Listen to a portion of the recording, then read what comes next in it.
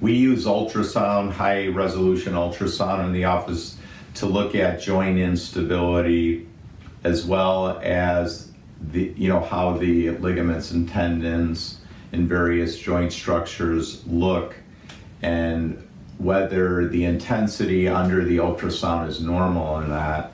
So one of my old time patients ended up getting a posterior tendon cadaver graft uh, because the, their posterior tibial tendon snapped.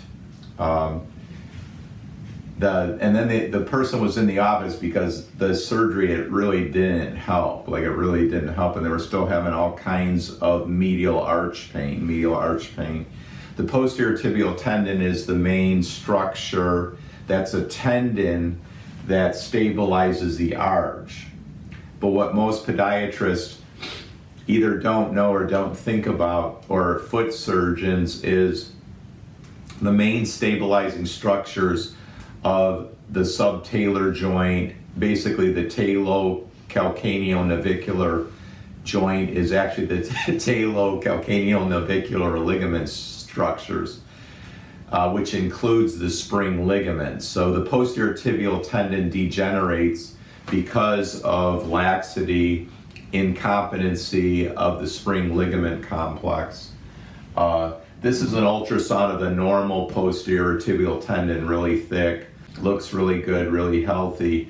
And when the patient came in, I just wanted to see what, you know, a basically a cadaver tendon looked like under ultrasound, and it was like completely black. Like it actually looked dead. So it's no wonder, like it's not going to work so good. And a lot of times when people have these tendon uh, surgeries, they don't do ligament reconstruction. So the so the tendon then can't support the uh, medial arch by itself. So, so this particular patient, I'll put him, well, I did put him in a really good medial arch support, and this is where orthotics do help. And then we started prolotherapy on the medial side of the ankle and the arch.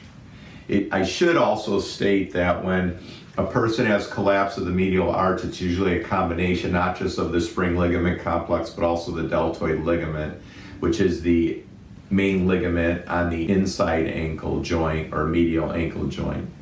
So anybody with medial arch pain should really first get an assessment by a really experienced prolotherapy therapist.